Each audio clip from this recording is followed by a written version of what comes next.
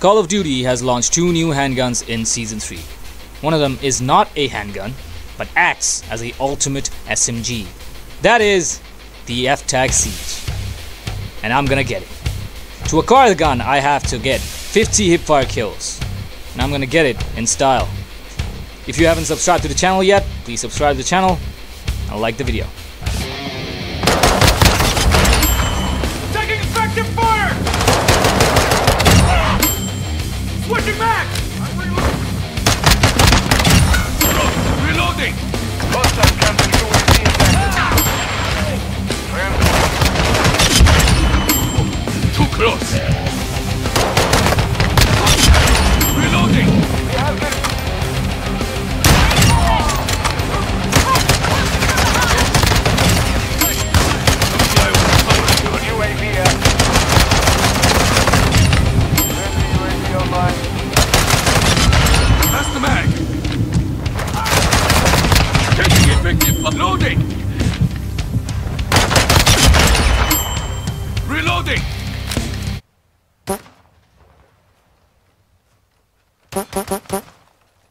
Switching